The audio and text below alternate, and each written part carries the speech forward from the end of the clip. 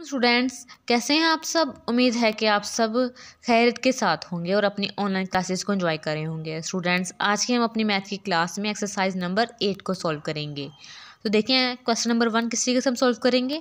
Draw line to show quarter और colour three over four हमें question तरीके से सॉल्व करना है, क्या? देखिए, हमें बुक के ऊपर जस्ट ये सर्कल बना आपकी बुक के ऊपर आपको नज़र आएगा।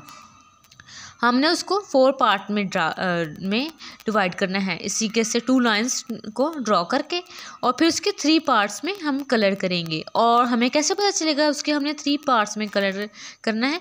ये जो हमें फ्रिक्शन राइट की हुई है, ये बताएगी कि हमने सबसे पहले उसको फोर पार्ट्स में डिवाइड करना है सर्कल को और उसके अंदर जो ऊपर वाला डिजिट है, हमें ये बताता है कि उसके अंदर हमने थ्री पार्ट्स जो उसके होंगे, उसके अंदर हम कलर करेंगे। जिस के से मैंने अपनी बुक के अंदर ड्रॉ भी किया है और कलर्स भी किए हैं। ठीक है स्टूडेंट्स आपने इसको इस तरीके से सॉल्व करना है। चलिए देखें नेक्स्ट क्वेश्चन नेक्स्ट क्वेश्चन में हमारे पास एक ट्रायंगल बनी हुई है। ठीक है, उसको हमने टू पार्ट्स में डिवाइड करना है और उसके वन पार्ट में हमने कलर कर देना है और हमें कैसे पता चलेगा? जो इस क्वेश्चन के साथ जो कलर यानी कि फ्रिक्शन राइट है, उससे। ठीक है नेक्स्ट में भी ऐसे ही है। वन ओवर टू यानी कि टू पार्ट्स में डिवाइड करेंगे और वन पार्ट में हम इसके कलर कर देंगे। Okay students next question number F उसमें भी ऐसे ही है। उसमें हमारे फ्रिक्शन है थ्री ओवर फोर तो हम इसको फोर पार्ट्स में टू लाइंस ड्रॉ करके हम डिवाइड करेंगे और उसके थ्री पार्ट में इसी कैसे हम कलर कर देंगे।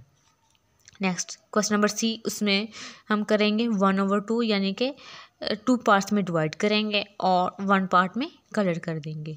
नेक्स्ट जी भी क्वेश्चन ऐसे है डी और एच भी ऐसे ही है स्टूडेंट्स आपने अपनी बुक के ऊपर इस तरीके से इन क्वेश्चन लाइन्स को ड्रॉ भी करना है, अच्छे से और कलर्स भी कर लेने हैं। और आप अपनी पसंद से कोई सा भी कलर चूज़ भी कर सकते हैं। Okay students stay home stay safe अल्लाह हाफिज़